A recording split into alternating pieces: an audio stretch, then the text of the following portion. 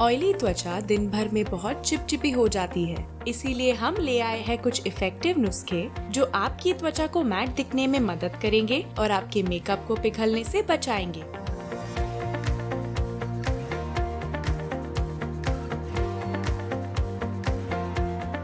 अगर आप टोनर का इस्तेमाल नहीं कर रहे तो इससे आपकी त्वचा को नुकसान हो सकता है। क्लेंजिंग के बाद टोनर का स्किन केयर रूटीन में एक बहुत ही ज़रूरी हिस्सा है।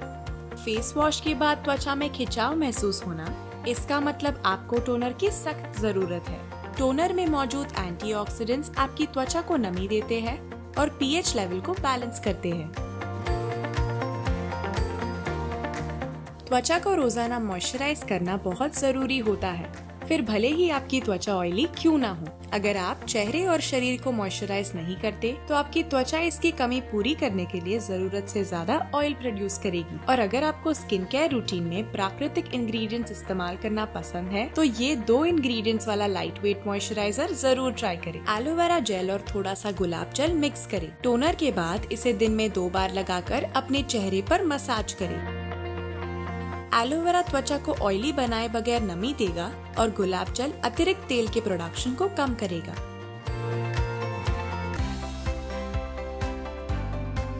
ऑयली त्वचा को रोज़ाना स्पेशल देखभाल की ज़रूरत होती है और इसीलिए अपने दिन की शुरुआत ऐसे सोप से करें जो आपके स्किन टाइप के लिए ही बना हो। एक ऐसा क्लेंजर चुने जो आपके स्किन टाइप को सूट करे या खुद ही एक बना ले। एक ओपेक व्हाइट सोप बेस लेकर छोटे हिस्सों में काटे।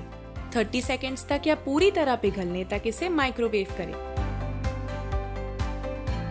पिघले हुए सोप में दो चम्मच बारीक पिसे हुए चावल डालें। इसमें लगभग सात से आठ बूंद टी ट्री इसेंशियल ऑयल डालें और अच्छे से मिक्स कर लें। मिक्सचर को अपने पसंद के मोल्ड में डालें और अगर सरफेस पे बबल्स नज़र आए तो इस पर रबिंग अल्कोहल छिड़के। इससे बुलबुले गायब हो जाएँगे। पिसे हुए चावल इनके तेल सोखने के गुण के लिए जाने जाते हैं और टी ट्री इसेंशियल ऑयल मुहासों वाले बैक्टीरिया से लड़ते हैं। मिक्सचर को सेट होने के लिए थोड़ा समय दे। अब दूसरी लेयर के लिए एक लेयर सोप बेस लेकर छोटे हिस्सों में काटे। और 30 सेकंड तक पिघलाएँ।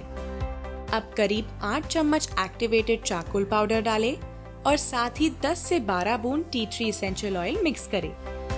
एक्टिवेटेड चाकोल और टी ट्री इसेंशियल ऑयल की जोड़ी त्वचा को डिटॉक्सिफाई करने और सारी गंदगी निकालने में मदद करेगी। अच्छे से मिलाए और पहला वाला प्रोसेस दोहराए।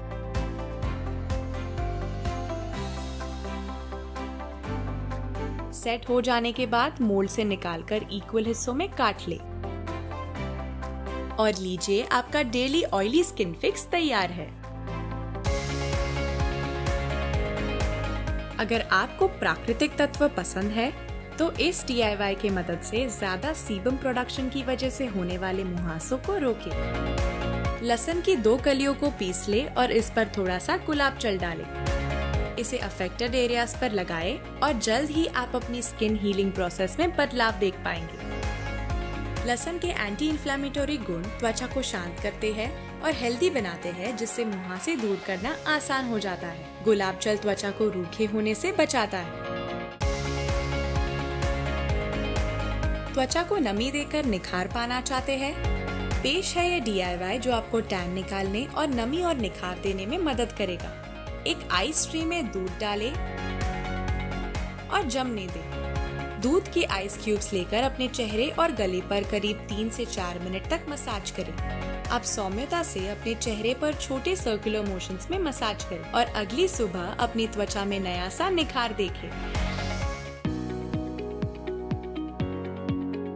ज़्यादा सीबम का प्रोडक्शन त्वचा को ऑयली बनाता है पोर्स को बंद कर देता है और मुहासे देता है। इसीलिए दिन भर अपने चेहरे से अतिरिक्त ऑयल हटाने के लिए हमेशा अपने पास ब्लॉटिंग शीट्स रखें। ये बहुत ज़रूरी है क्योंकि ये चेहरे से अतिरिक्त तेल को सोख कर मैट टेक्सचर देते हैं और पोर्स को क्लॉग होने से रोकते हैं। अगर आप उन लाल मुहासों से परेशान हैं, तो ये शानदार डीआईवाई आपकी मदद करेगा।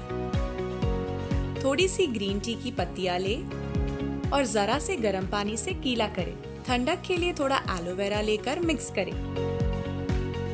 ग्रीन टी एक शक्तिशाली एंटीऑक्सीडेंट है, जो पफीनेस, जिद्दी मुहासे और उनके निशान को कम करता है। ये मिक्सचर उन सूजे हुए पिंपल्स को शांत करेगा, जो मेकअप से भी कवर नहीं हो सकते।